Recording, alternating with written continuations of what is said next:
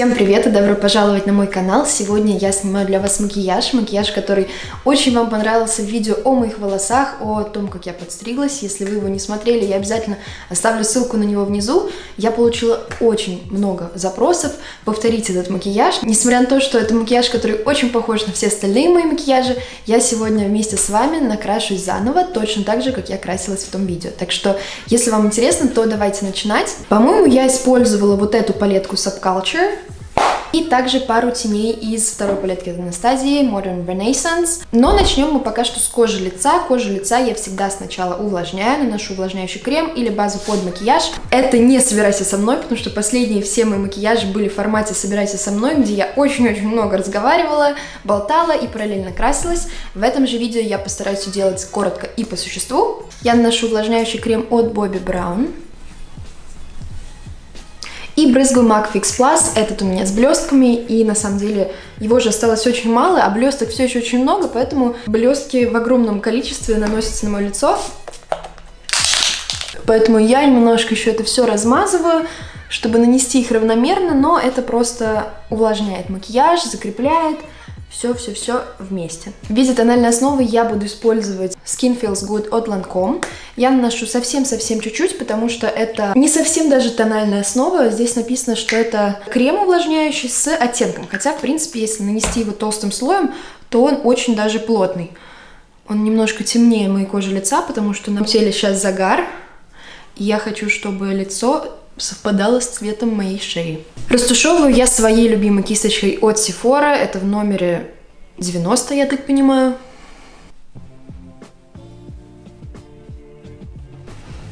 Я все так же не изменяю свои помадки от Анастасии Beverly Hills, но при этом я стала красить брови намного-намного легче. Сейчас покажу вам, как я это делаю. Я беру кисточку и, можно сказать, небрежно, не создавая никакую четкую форму, просто прорисовываю по росту волос закрываю все какие-то лысины.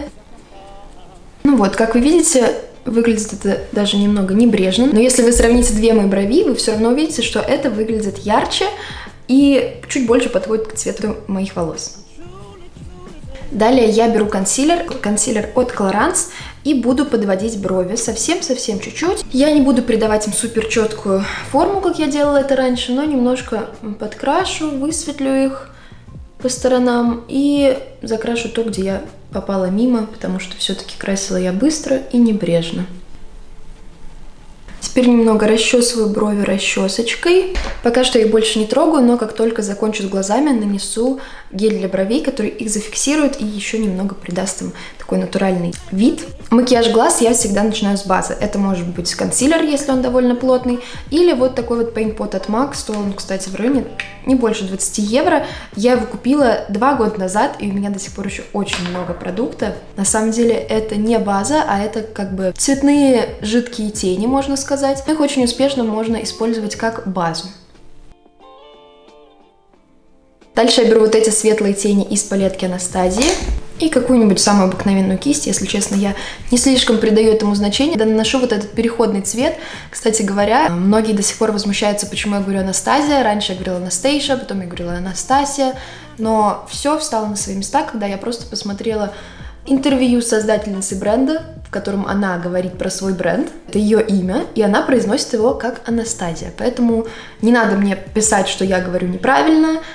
Я говорю так, как говорит создатель бренда, и просто посмотрите интервью с ней, если вы мне вдруг не верите, но такое вот она выбрала название, которое всех вводит в смущение. Потому что, конечно же, имя Анастасия по-английски чаще всего произносится как Анастейша, и я это прекрасно знаю. Я такими очень легкими круговыми движениями наношу этот переходный цвет, таким образом тоже закрепляю базу. Далее я беру две кисточки размером поменьше и самой маленькой буду наносить вот эти темно-коричневые тени. И идея этого макияжа заключается в том, что мы затемняем внутренний и внешний уголок глаза, а на серединке оставляем пустое место, или же можно положить какие-то цветные тени.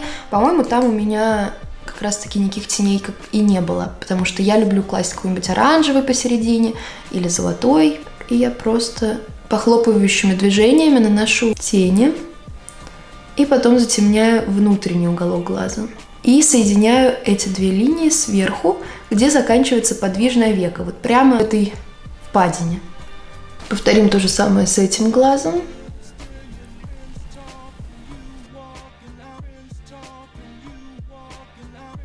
И теперь кисточкой, на которой может даже не быть продукта, я начинаю это растушевывать, создавать дымчатый переход плавный. Теперь можно взять кисть побольше чтобы все это плавно растушевать с переходным цветом. Можно еще немного затемнить. И так как я люблю и так как я люблю макияжи теплые цвета, я беру палетку Subculture и вот эти вот тени в цвете фадж. Они такого теплого коричневого цвета. Я совсем-совсем легонько наношу эти тени между переходным цветом и между затемненными уголками.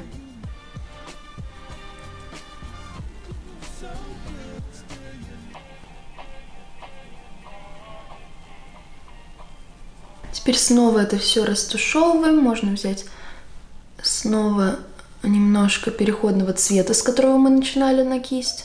В том макияже я, по-моему, взяла совсем чуть-чуть светлых теней и нанесла на серединку глаза, но вы можете использовать любой цвет, можете положить на серединку зеленый, красный, оранжевый, золотой. А я сегодня кладу совсем чуть-чуть прямо пальцем бежевый.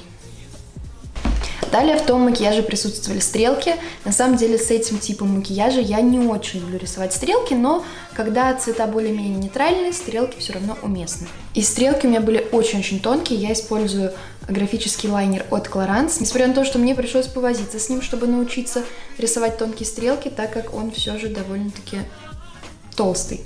Если вы ищете хороший лайнер, я очень советую вам два лайнера, довольно бюджетных.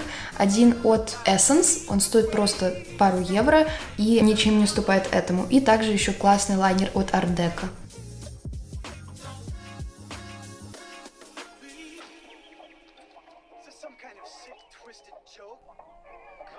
Если вам тяжело рисовать стрелки и рука трясется, я советую вам положить локоть на стол или на что-то, что будет поддерживать вашу руку.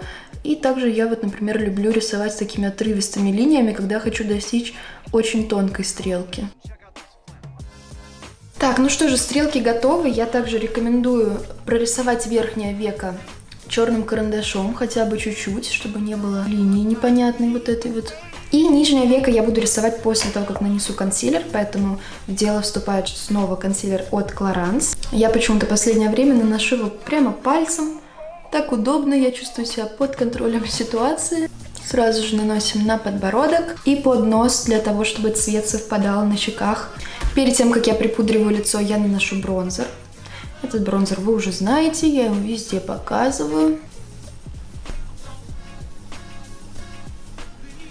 Остатки наношу на лоб, на виски. Также румяна. Сегодня использую кремовые румяна от Bobbi Brown. Они такого приятного розового оттенка.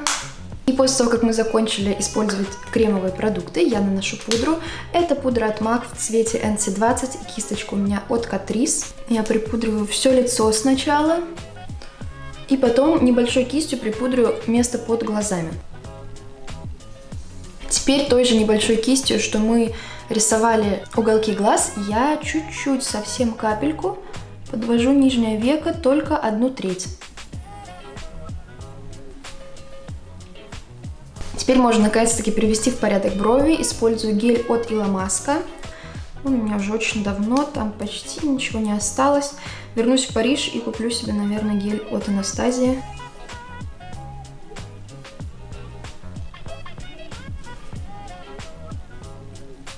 Теперь хайлайтер. По-моему, в том видео я использовала хайлайтер от Кайли. Он довольно яркий, но я наношу совсем чуть-чуть. Можно также нанести чуть под бровь.